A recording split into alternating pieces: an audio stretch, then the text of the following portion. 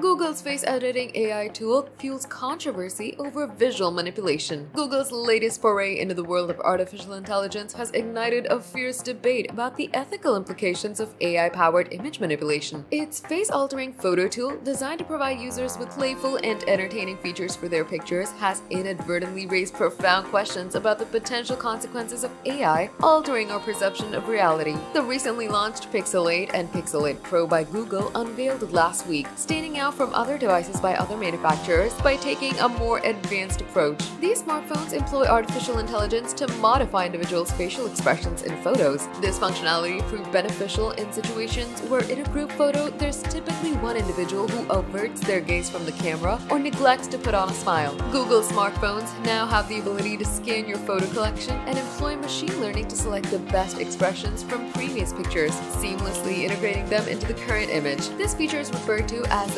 Best Take by Google. Furthermore, these devices offer users the option to remove, reposition, or resize unwanted elements within a photo, whether they're people or structures, effectively filling in the empty space through a feature known as the Magic Editor. The Magic Editor relies on a concept known as deep learning, which involves an artificial intelligence algorithm determining the appropriate textures to complete the void by accessing the nearby pixels and drawing upon the knowledge it's gained from the analysis of countless other photos. What's remarkable is that this functionality isn't limited to photos taken within the device itself. With the Pixel 8 Pro, you can apply the Magic Editor and Best Take to any images in your Google Photos library. This development has prompted new inquiries from certain observers regarding our approach to photography. Google's recent AI innovation has garnered descriptions from tech analysts and reviewers, ranging from being potentially icky, creepy, and having the potential to pose serious threats to people's trust of online content. Andrew Pearsall, an expert photographer and senior lecturer in journalism at the University of South Wales, concurred that the use of AI manipulation posed potential risks. He said,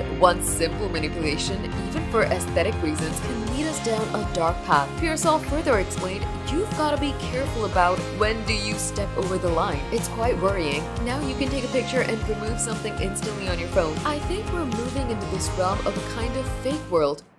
Stay tuned for the latest celebrity updates. Hit the subscribe button and ring the notification bell for all the latest news. Don't forget to show your support by giving this video a thumbs up and sharing your thoughts in the comments below.